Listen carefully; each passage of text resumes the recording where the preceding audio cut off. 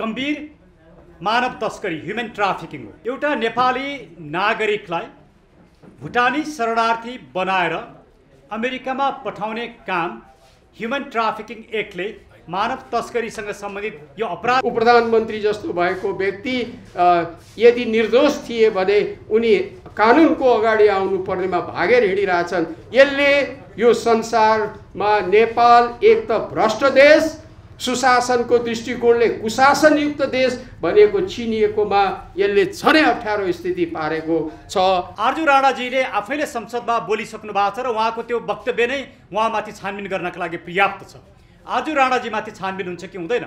उहाँलाई कानुनी दायरामा ल्याइन्छ कि ल्याइँदैन? हिजोको काण्ड जस्तै भासफुस नदिने हो भने हामी सबै युवा पुस्ता जाग्नु पर्यो र खबरदारी हामीले गर्नु पर्यो। ठगी र सङ्गठित अपराधमा मात्रै छानबिन गरेर मुद्दा चलाउने र अनुसन्धान फितलो गर्ने प्रमाण सङ्कलन नगर्ने र आएका अडियोहरूलाई पनि यो अडियो त हो नि भनेर शङ्कास्पद विषय बनाइदिने र प्रमाणै लोप गर्ने र प्रमाणको मूल्य घटाइदिने। जुन काम अहिले हुन खोजिरहेको छ यो गम्भीर छ। यो मानव तस्करी हो। मानव तस्करी अन्तर्गत कानुन चल अन्तर्गत चल्छ। भ्रष्टाचार कान अन्तर्गत मुद्दा चल्छ। र किर्ते र ठगी अन्तर्गत मुद्दा चल्छ। चुर्लुममा अपराधमा डुबेको छ र यो पोलिटिकल क्रिमिनलाइजेसन मुलुकमा जुन छ यसको अन्त्य नभएसम्म एक दुईवटा घटना बाहिर आउँछन् त्यसलाई फिजल आउट गरिन्छ सामसुम पारिन्छ तर भ्रष्टाचार अन्त्य हुँदैन। र सेमा हामीले केवल चौतिस नम्बर पाएको छ। त्यसैले यो भ्रष्टाचार हुने मुलुकहरूको सूचीमा नेपाल समावेश भएको छ। भुटानी शरणार्थीको विषयमा सरकारले ठगी अपराध र सङ्गठित अपराध अन्तर्गत मुद्दा चलाउने प्रक्रिया अगाडि बढाएको छ भन्ने हामीले थाहा पाएका छौँ। वास्तवमा ठगी हुनका लागि चाहिने कानुनी एलिमेन्ट्सहरू जुन छन् ती के कति पुरा भएका छन् या छैनन् भन्ने एउटा गम्भीर कानुनी प्रश्न खडा छ। त्यसैले ठगीमा मुद्दा चलाएर जो जो व्यक्तिहरू यो प्रकरणमा जोडिएका छन् ती सबै व्यक्तिहरूलाई चोख्याउने एउटा खेल त कतै भइराखेको छैन भन्ने गम्भीर प्रश्न अहिले उठेको छ। त्यसैले मलाई यो विषयमा सबैभन्दा पहिला कानुनी पाटोलाई हेर्दाखेरि यो विषय के के हुन सक्दछ भन्दाखेरि तिन चारवटा दृष्टिकोणबाट यसलाई हेरिनु पर्दछ। सबभन्दा पहिला यो गम्भीर मानव तस्करी ह्युमन ट्राफिकिङ हो। एउटा नेपाली नागरिकलाई भुटानी शरणार्थी बनाएर अमेरिकामा पठाउने काम ह्युमन ट्राफिकिङ एक्टले मानव तस्करीसँग सम्बन्धित यो अपराध भएको कारणले त्यो अन्तर्गत यससँग संलग्न व्यक्तिहरूलाई मुद्दा चलाइनु पर्नेमा त्यो अन्तर्गत मुद्दा चलाउने अनुसन्धान गर्ने छानबिन गर्ने प्रक्रिया अगाडि बढाइएको छैन। यसबाट के देखिन्छ भने जुन किसिमले मुद्दा चलाउन खोजिराखेको छ त्यसको अनुसन्धान नै फितलो बनाएर दोषीहरूलाई भोलि धरोटीमा निकाल्ने अनि मुद्दामा अन्तिममा फैसला हुने वातावरण सिर्जना गरेर सबैले कतै छुटकारा पाउने त होइनन् भन्ने एउटा सम्भावना बढेको छ। त्यसैले मेरो सबभन्दा पहिला पत्रकार मित्रहरू नागरिक समाज र आम नागरिकहरूलाई अनुरोध के छ भने यो विषयमा ह्युमन ट्राफिकिङ अन्तर्गत संलग्न व्यक्तिहरूमाथि मुद्दा चलाइनु पर्दछ भन्ने आवाज निकाल्न जरुरी छ नम्बर वान। नम्बर टू नेपालको अन्तर्राष्ट्रिय छविलाई गिराउने मित्र राष्ट्रलाई ढाँट्ने छल्ने र एक किसिमको फ्रड गर्ने काम यो मुद्दामा भएको कारणले। हामीले भुटानी शरणार्थी अमेरिकामा पठाएका हौँ है भनेर नेपालको इज्जत र छवि अन्तर्राष्ट्रिय रूपमा स्खलन गराउने काम जुन भएको छ यो चाहिँ राजद्रोह अन्तर्गत पर्दछ।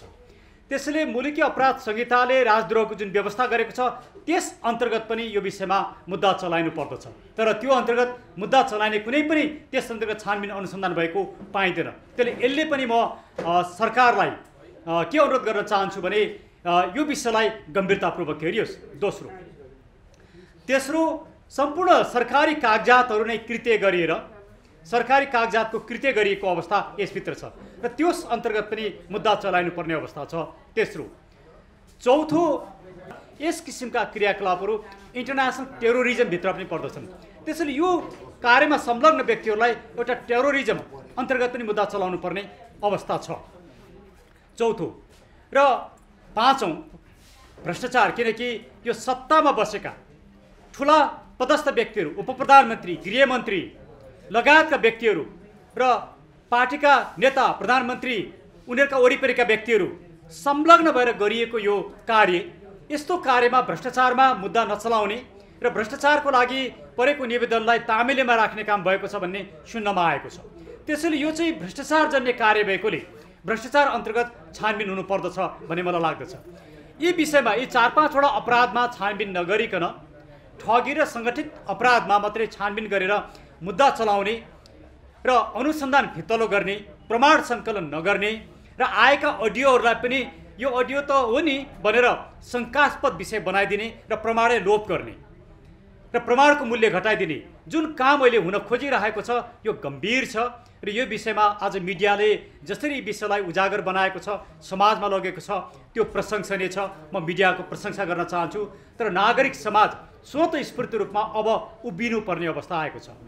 अहिलेका गृहमन्त्रीज्यूले जुन एउटा हिम्मतका साथ यो घटनालाई बाहिर ल्याएर छानबिनको दायरामा ल्याउनु भएको छ र त्यो एक्सर्साइज गरिनु भएको छ म उहाँलाई मुक्त कण्ठले प्रशंसा गर्न चाहन्छु।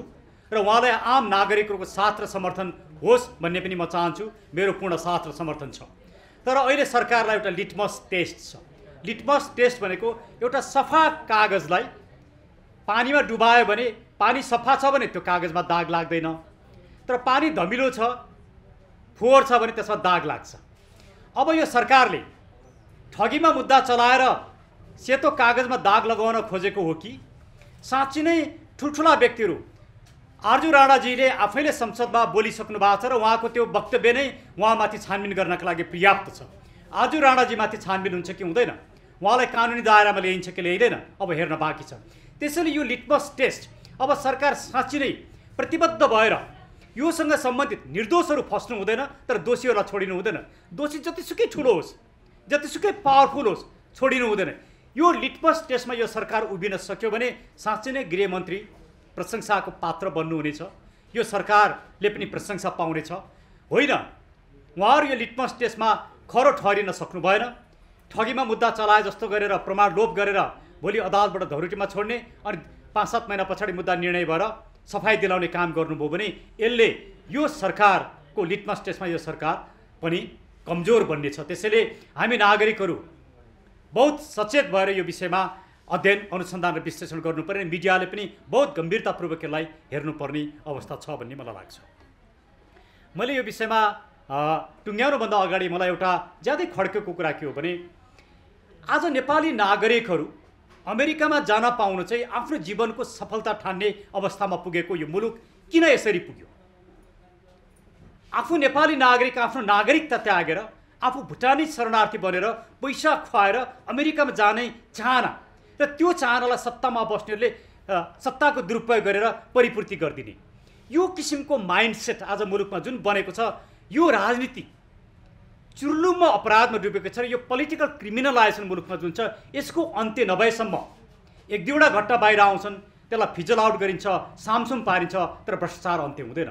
त्यसैले म यो आयोजकलाई जसले साँच्चै नै राष्ट्रिय रूपमा विभिन्न समयमा दह्रो रूपमा खुट्टा टेकेको छ। म आयोजकलाई के निवेदन गर्न चाहन्छु? या डाक्टर द्वारिकानाथ ढुङ्गेल लगायतका व्यक्तिहरू हुनुहुन्छ।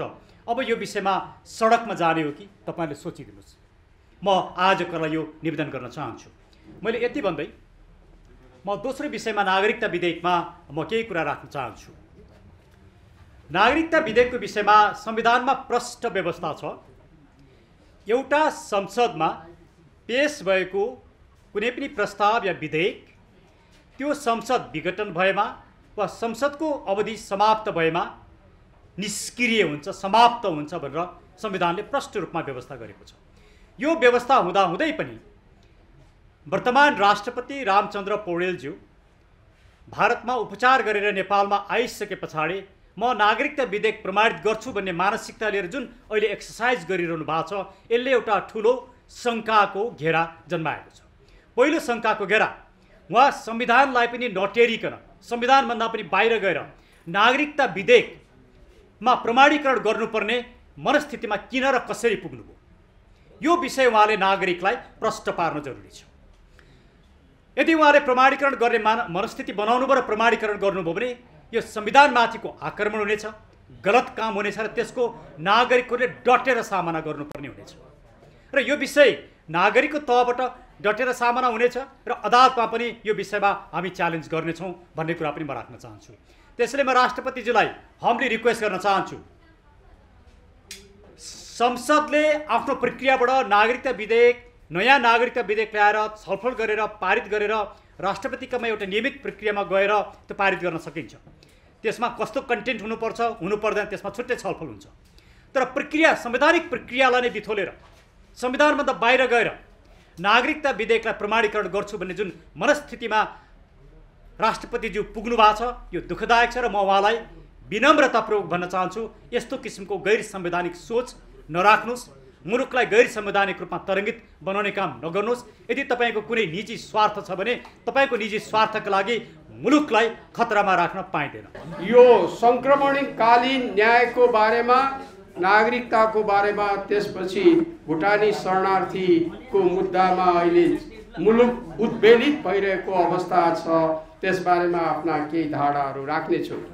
सर्वप्रथम पहिलो त म यो सङ्क्रमणकालीन न्यायको मुद्दालाई नेपालको सहयोग बहुत खास गरिकन यो त्रिसठी चौसठी पछि मुलुकमा अझ राजा ज्ञानेन्द्रले साबाट शासन लिइसकेका नेताहरूले जसरी यसलाई खेलाची गरिरहेका छन् यो खेलाची गर्ने काम छिटोभन्दा छिटो बन्द गर्न म आग्रह गर्दछु र यो सङ्क्रमणकालीन न्यायलाई पीडक र पीडित दुवैसँग बसेर कसरी यो समाधान गर्न सकिन्छ र दुवैलाई अप्ठ्यारो नपर्ने र मुलुकमा कानुन छ न्याय छ भन्ने कुराको प्रत्याभूति हुने गरिकन समाधान गरोस् र यस कार्य यस कार्यमा वर्त मैले सुनेअनुसार वर्तमान गृहमन्त्रीजी लाग्नु भएको छ। उहाँलाई शुभेच्छा छ। तर उहाँ खालि भा त्यो के हुन्छ भने भाषण गरेर अथवा प्रेससँग भेट्दा त्यो गोलमटोल भाषा अथवा मिठो भाषा प्रयोग गरेर यसलाई अल्मन्याउने काम नगर्नुहोस् यसलाई छिटोभन्दा छिटो टुङ्ग्याउनुहोस् भन्ने म आग्रह गर्न चाहन्छु। दोस्रो यो नागरिकताको विधेयकमा मसँग तथ्य छ। त्यो तथ्य एउटा त्यो तथ्य तपाईँहरूले शीतल निवासलाई र सिंहदरबारलाई पुर्याइदिनु भयो र यो पूर्व कर्मचारी परिषद र अन्यहरूले पनि बुलन्द आवाज उठाइदिनु भयो भने त्यसले नै पुग्छ जस्तो लाग्छ। आज शीतल निवासमा बस्नुभएका रामचन्द्र पौडेलजी सभामुख हुनुहुन्थ्यो। सभामुख हुनुहुन्थ्यो। यो कुन बखत? मध्यावधि चुनाव भइसकेपछि नेकपा एमालेको सरकार बनेपछि उहाँ निर्वाचित सभामुख हुनुहुन्थ्यो। र उहाँको समक्ष एउटा उहाँलाई निर्णय गर्नुपर्ने विषय आइलाग्यो। यसमा अलिकति यहाँहरूले अलिकति यहाँहरूले ध्यान दिइदिनु भयो भने यहाँहरूलाई फाइदा हुन्छ होला। बिचमा आवाजले त मलाई पनि अप्ठ्यारो गर्छ यहाँहरूलाई पनि अप्ठ्यारो होला। रामचन्द्र पौडेलजीलाई एउटा विषयमा निर्णय गर्नुपर्ने भयो। त्यो विषय थियो त्यो विषय थियो गिरिजाप्रसाद कोइरालाले भारतमा जाँदा उहाँले हस्ताक्षर गर्नुभएको टनकपुर सन्धि। त्यो सन्धि उहाँले सम समझदारी भन्नुभएको थियो। सर्वोच्च अदालतले सन्धि भनिदियो त्यसलाई संसदबाट पारित गराउनु पर्ने जिम्मेवारी सरकारको आयो। र त्यो जिम्मेवार गिरिजाप्रसाद कोइरालाको सरकारले समझदारीलाई अनुमोदन गराउनको सन्धिलाई अनुमोदन गराउनको लागि प्रतिनिधि सभामा पेस गरेका थियो। प्रतिनिधि सभा खारेज भयो। र त्यसपछि नयाँ प्रतिनिधि सभा गठन भएपछि त्यो मुद्दा फेरि उठ्यो र त्यो मुद्दामा रामचन्द्र पौडेलजीले नै रुलिङ दिनुभएको छ। एउटा प्रतिनिधि सभामा प्रस्तुत भएको विधेयक प्रस्ताव त्यो प्रतिनिधि सभाको अवधि सिद्धिसकेपछि नयाँ प्रतिनिधि सभाले त्यसलाई ओन गर्न सक्दैन। यो संसदीय पर परम्परा हो। त्यस कारणले त्यस बखतमा प्रस्तुत भएको जुन ऊ छ अनुमोदन सम्बन्धी प्रस्ताव छ त्यो कार्यान्वयन हुन सक्दैन भन्ने उहाँले रुलिङ दिनुभएको छ। त्यो रुलिङ जस्ताको तस्तै मै मेरो किताब जलस्रोतमा नेपाल ज चक्रव्यूहमा नेपालको जलस्रोतमा मैले त्यो उधार त्यसलाई जस्ताको तस्तै राखिदिएको छु र अहिले नागरिकताको बारेमा जसले फेरि यो प नागरिकतालाई वर्तमान राष्ट्रपतिले लालमोहर लगाउनुपर्छ त्यसलाई प्रमाणित गर्नुपर्छ भन्नेहरूको विरोधमा लाग्नुहुनेलाई मैले त्यो सामग्री उपलब्ध गराइसकेको छु। त्यस कारणले मलाई लाग्छ यसमा धेरै ठुलो कुरा छैन। त्यो संसदको जुन रामचन्द्र पौडेलजी सभामुख भएर दिनुभएको रुलिङ उहाँले आफैले पढेको खण्डमा उहाँले सायद नागरिकतामा हस्तमा प्रमाणित गर्न उहाँलाई अप्ठ्यारो पर्छ गर्न सक्नुहुन्न। यति मेरो भनाइ छ। अब रह्यो अब रह्यो भ्रष्टाचार सम्बन्धी अहिले भुटानी भुटानी शरणार्थीको जुन मुद्दा छ त्यो मुद्दाको बारेमा म छोटकरीमा केही कुराहरू राख्न चाहन्छु। सुरेन्द्र भण्डारी वरिष्ठ अधिवक्ता सुरेन्द्र भण्डारीजीले यो मानव तस्करी हो। मानव तस्करी अन्तर्गत कानुन चल अन्तर्गत चल्छ भ्रष्टाचार का अन्तर्गत मुद्दा चल्छ र किर्ते र ठगी अन्तर्गत मुद्दा चल्छ भनेर गइसक्नु भएको छ। त्यसकारण तर अहिले जुन किसिमको खेल देखे पदा पर्दामा देखिन थालेको छ त्यसले भासभुस गर्ने सम्भावना बढ्दो अवस्थामा छ तर कता कता सिल्भर लाइनिङ पनि देखिएको छ। त्यस कारणले मेरो सुझाव यसले के गर्यो भन्दा म तपाईँलाई हाम्रो देशको इज्जत भ्रष्टाचारको दृष्टिकोणले कहाँ छ मैले होइन तथ्याङ्क अन्तर्राष्ट्रिय सङ्घ संस्थाले निकालेको तथ्याङ्क तपाईँहरूको अगाडि प्रस्तुत गर्दछु। एउटा अध्ययताको नाताले। सन् बाइसको अहिले तेइसमा ट्रान्सप्यारेन्सी इन्टरनेसनलले निकालेको तथ्याङ्क बाइसको नेपालको सुशासनको स्थितिको जुन चित्रण गरिएको छ त्यो चित्रणमा नेपालको स्थिति एक सय दसवाँ स्थानमा छ। एक सय दसमा। र सयमा हामीले केवल चौतिस नम्बर पाएको छ। त्यसैले यो भ्रष्टाचार हुने मुलुकहरूको सूचीमा नेपाल समावेश भएको छ। चौतिस पचासभन्दा सयमा पचासभन्दा बढी अङ्क आएमा मात्र त्यो देशमा सुशासनको स्थिति राम्रो छ भनिन्छ। नेपाल हुन त एक्काइसभन्दा हाम्रो स्थिति अलि सुध्रिएको छ तर पनि हामी एक सय चालिसौँ स्थानमा छ एक सय असी मुलुकमा। एक सय असी मुलुकमा हामी एक सय चालिसौँ स्थानमा छ हाम्रो अङ्क छ चौतिस यसले भन्छ नेपाल भ्रष्ट मुलुकहरूमा पर्छ।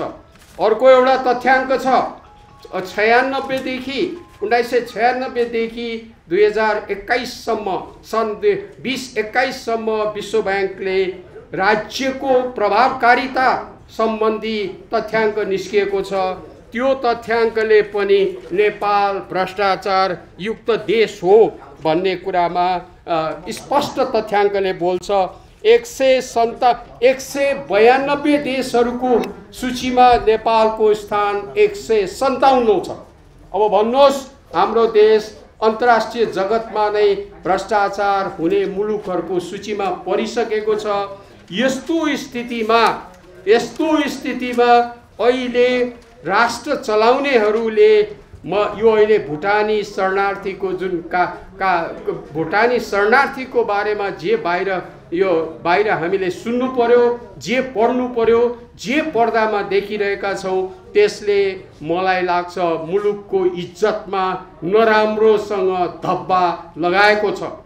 र त्यो त्यो पनि कस्तो भने मलाई कहिलेकाहीँ आश्चर्य लाग्छ राज्यमा सबै निकायहरूको त्यत्तिकै महत्त्वपूर्ण भूमिका हुन्छ तर गृह रक्षा र अर्थ मन्त्रालय जस्ता निकायहरूको छविले राष्ट्रलाई नराम्रोसँग त्यो त्यो छविलाई बिगारिदिन्छ। त्यसमा पनि जसले हामीलाई शान्ति सुरक्षा दिनु छ जसले हामीलाई सेवा दिनु छ त्यही मन्त्रालयको मन्त्री मन्त्री सचिव र पूर्व मन सचिव जो अझै पनि संवैधानिक निकायमा कार्यरत छन् तिन र र सुरक्षा राष्ट्रिय सुरक्षा सल्लाहकार र उनका सन्तान र एउटा पूर्व प्रधानमन्त्री जस्तो भएको उप प्रधानमन्त्री जस्तो भएको व्यक्ति यदि निर्दोष थिए भने उनी कानुनको अगाडि आउनु पर्नेमा भागेर हिँडिरहेछन्। यसले यो संसारमा नेपाल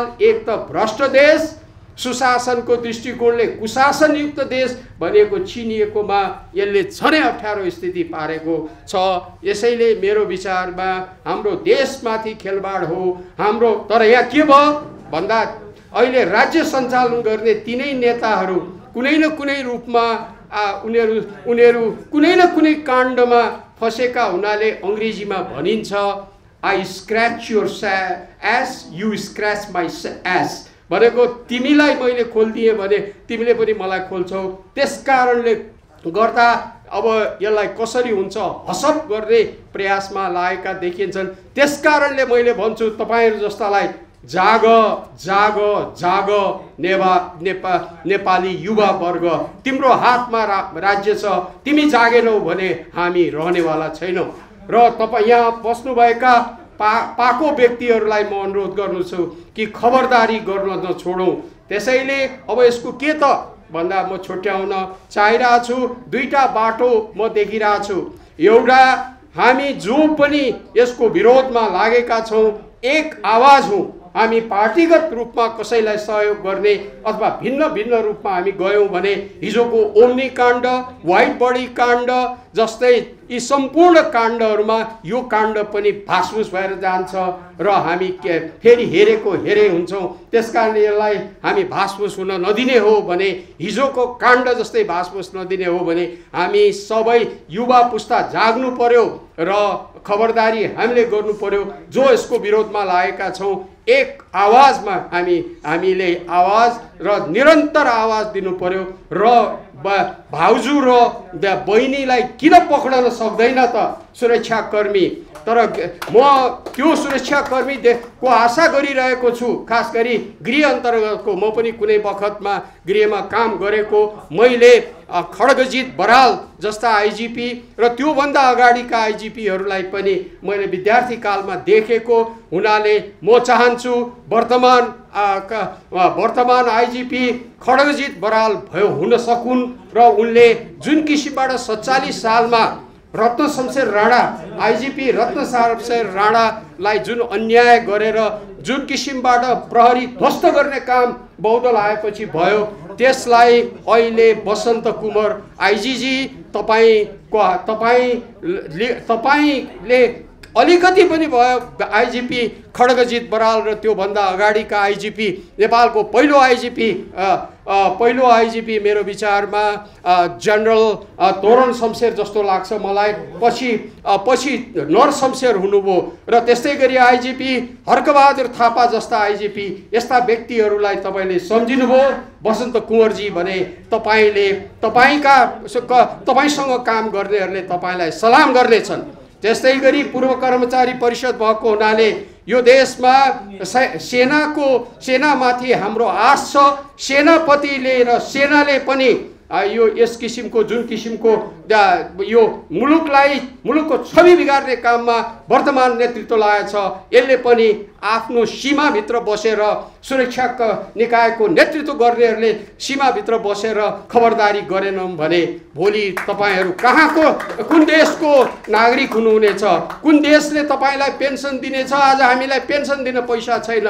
देश टाट भइसकेको छ। यस्तो अवस्थामा पनि भाउजू र बहिनीहरूलाई अझ पुगेको छैन र भाउजू र बहिनी त्यसपछि संवैधानिक निकायमा बसेकालाई पक्रन हिम्मत गर्छ कि गर्दैन हेरौँ।